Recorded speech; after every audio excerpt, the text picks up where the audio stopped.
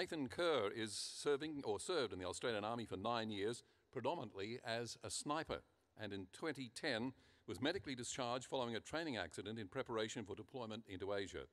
He is a PhD student at the University of Newcastle, researching military veterans and their transition into civilian life through the lens of occupational therapy. Please welcome Nathan Kerr.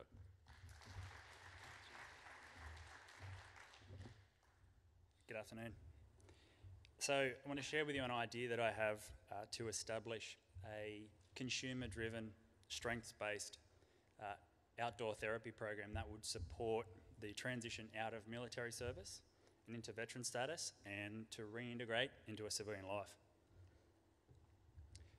So, my interest in this area stems from my own personal experience, uh, not just from my own uh, discharge, but from watching my mates discharge uh, and watching some of them take their lives. I initially joined the Australian Army in 2001, was fortunate enough uh, to be given the opportunity to attempt to be a sniper and then deployed repeatedly throughout Asia and the Middle East. I loved it and it was my identity. Unfortunately, though, in 2010, I was injured, uh, rehabilitated, and then medically discharged, which uh, would be an understatement to say that I was devastated. Really not sure what to do with the skills that I'd acquired. I seemed to naturally progress towards being a uh, security contractor, working again for the Australian government across Asia and the Middle East, and realised that I still hadn't addressed my transition and reintegration. So in 2014, I took myself off to university, uh, started occupational therapy, and at the end of last year, graduated uh, OT after conducting a scoping review on occupational therapy for military personnel and military veterans experiencing PTSD, which I've been fortunate enough now to roll into a PhD looking at the veteran transition uh, experience. But it was the scoping review that made me realise how beneficial a outdoor therapy that was consumer driven would be uh, in the support of transition and reintegration. And that actually connects really well how to not just I, but a number of the uh, men that I served with now utilise the outdoors to support our own mental health and well-being. So what do I mean by outdoor therapy? Uh, the literature could show that it would be referred to in a number of ways, wilderness therapy, horticultural therapy or forest therapy. But more broadly, what I'm talking about is an intervention that's provided to an individual or any group in a natural outdoor setting. And we range the activities that you engage in from low demand in low and quiet spaces to high demand activities that require your complete presence and full attention. When we look at the literature around the therapeutic factors that should exist, of course, you would have the outdoors itself, then the physical self challenged by the outdoors, and then lastly, the psychosocial self, and that's the challenge of irrational thoughts and behaviours. In terms of aims of such a program, we're looking to achieve an aim across either the emotional, behavioural, psychological, or interpersonal domains.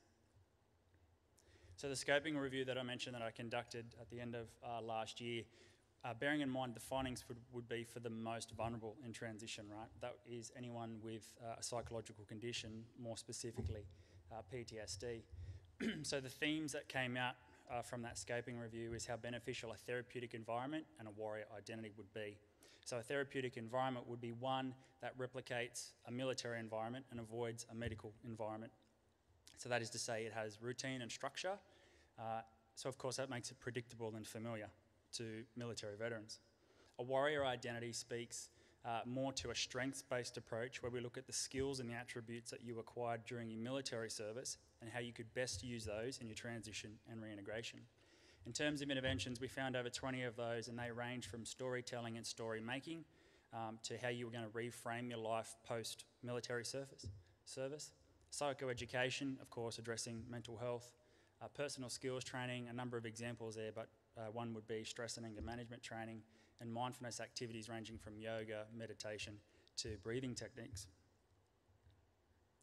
So, as I see it, I bring together all those things. We bring in the three therapeutic factors, we bring in the aims, we utilise uh, the scope review findings for the most vulnerable, and additionally, I want to bring in the really successful uh, peer structure that we know works uh, even in the literature from Trojan's Trek, there's a number of organisations that you've clearly heard over the last two days that utilise the peer structure really well. And then the last point there, the PhD findings that I intend to acquire next year, which will be based on my interviews with veterans about how they would define what transition is, what reintegration is, and what could be best done to support them and what was done well to support them in that process. So, as I see it, the program doesn't just support the most vulnerable with a psychological condition, nor does it just support anyone that was medically discharged. It would be for anyone that struggles with transition and reintegration. The program couldn't be just for veterans, it has to include their significant others, friends, loved ones, children, for instance. I believe the program should be scalable. That is to say that we should have uh, a program that runs over weekends, uh, a succession of weekends for those who can't make full time attendance. And for the more vulnerable, we need a far more immersive course that runs over consecutive days and weeks. I believe the best approach is a multidisciplinary team approach. So, art therapists, psychologists, uh, exercise physiologists, nutritionists, OTs. Uh, that way, we can better address the known challenges that we know veterans face in transition and reintegration, and we can start to destigmatise help seeking from healthcare professionals. And then the last point there that I've got is uh, clinician veterans. It makes sense when you hear everyone else talk the last uh, two days. What I'm really advocating for is if we can find them, that's not always the case. We're looking for people that have obviously served, who have now become clinicians, and we utilise that to really play to the peer structure that we know works really well for the veteran community. So, as I see it, I want to create a consumer driven uh, pro- outdoor therapy program that supports transition, transition and reintegration, not just for veterans, but their families as well. I think we could address such things as acculturation, role identity, and institutionalisation. I want to promote uh, socially acceptable risk taking activities like canyoning, just as an example, that are transformative and provide a new uh, perspective on life post military service. I want to harness the warrior identity and look to promote self efficacy and create that, increase the sense of confidence.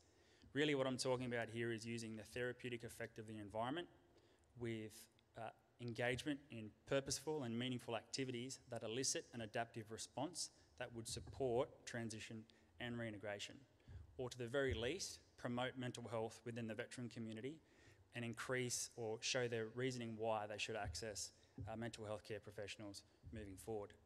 Thank you, and thank you to the Road Home for this opportunity.